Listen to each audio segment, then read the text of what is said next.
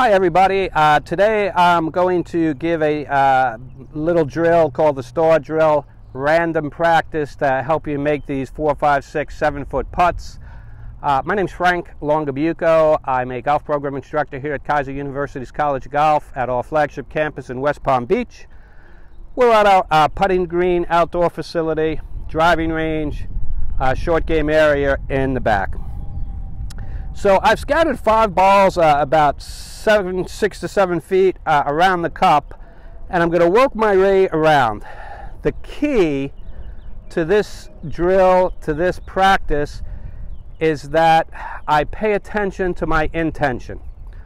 I'm going through my full process just like I will and just like I would on uh, the golf course one of the things that happens when we practice is there's no intent. Uh, so right now I'm going to focus uh, on doing everything I'm going to do on the golf course, the same procedure, and then uh, I would like to try to relax my eyes a little bit and settle my eyes before I hit the putt. So just like I would on the golf course, right? I've got it marked. I'm reading it. Looks like a left center putt. I'm getting a good image in my head. Coming into it three steps just like I would. Square my club. Down the line. Back again. And now I'm letting my eyes relax. I'm letting them settle. I would like to let them settle for a second or two before I strike the putt and then a second or two after I strike the putt. The last thing we need is our eyes to be darting all over the place. Uh, not very good for putting. So relax yourself, let your mind relax, stick to the process. Don't worry so much about the outcome.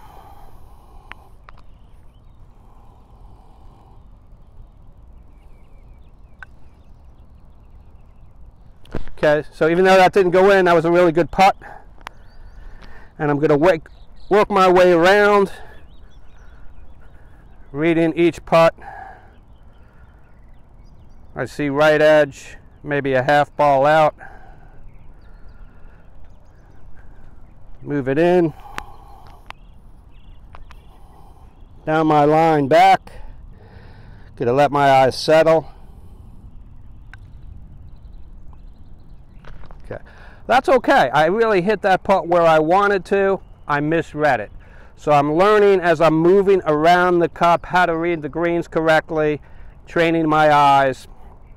When I get done with the star drill, uh, I'll move over and start training with one ball. okay, just like we play golf on the golf course. Um, I got the putt. I'm seeing it. Right now, my only focus externally at the target. Move in.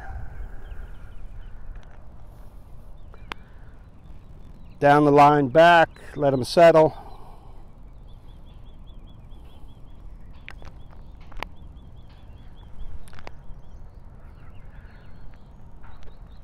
Okay, so I learned something there. And just like on the golf course, I would go ahead and mark this ball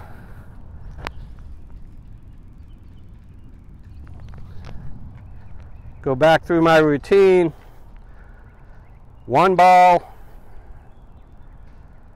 random practice.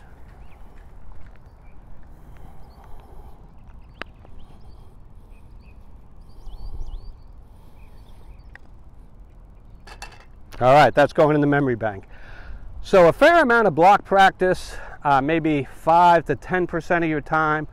Move away from it, get into some drills, and some random practice, then finish up with one ball, some kind of game, and uh, keep it moving. Uh, you don't want to do the same thing over and over and over again. If I hit the same exact putt over and over again, I'm going to get pretty good at it, hopefully. But that's not the way the game's played. Uh, the game is played randomly, and we have to make these uh, adjustments as we go. Build skills with lots of random practice, games, the guided block practice I set up there will help many things and give us a lot of feedback. And even the putt I missed over here, you know what? I learned I played too much break on that one. And uh, all these things will benefit you and help you make uh, more putts. All right, uh, subscribe to the YouTube channel, uh, YouTube channel listed below. Like to hear from you. Give us some feedback, some comments. Uh, try these drills and especially the guided block practice. Play lots of games. Good luck. Look forward to hearing from you. Have a great day.